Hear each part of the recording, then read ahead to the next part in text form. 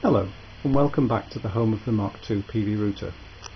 It's a lovely day on Merseyside, not a cloud in the sky, spring morning, um, a couple of kilowatts of power coming from the panels, uh, 2.14 um, kilowatts there. Um, very little on in the house, so there's quite a lot of surplus power. And if we look at, have a look at the box on the wall, um, this shows that we've put um, one and two thirds kilowatt hours worth of surplus energy into our hot water already. Um, the um, flashing light tells me uh, what proportion of the time the 3 kilowatt immersion heater is on and it looks to be on for at least 50% of the time which is what I would expect.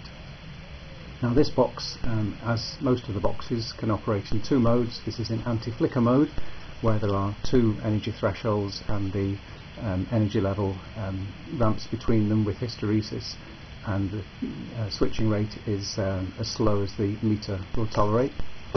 If I operate the switch around the side, the mode switch, we're now in normal mode and the light is now flashing on and off quite regularly and very fast, probably too fast for the camera to pick up. But as you can see the um, the watt hours um, is still continuing to increase so because the load is still on for the same proportion of the time, albeit on a faster time scale, um, we are still operating within the um, permitted zone of the meter. I just put this back on again to um, anti-flicker mode. Uh, anti-flicker mode is the uh, one which the meter might have the most difficulty with. Our meter is over here and as you can see the light is on permanently which probably means that this meter is in its uh, sleep mode but as long as it's not cycling in synchronism with the um, state of the load, that's the important thing. So we're not being charged. So energy is being diverted. It's not going into the grid, um, and we're certainly not being um, certainly not being charged for it. Now, one thing that might be uh, interesting in this particular box, um, I have a temperature sensor in here. Based on the latest uh, Datalog sketch. And if I operate the little button up at the top, we can see the temperature in the box.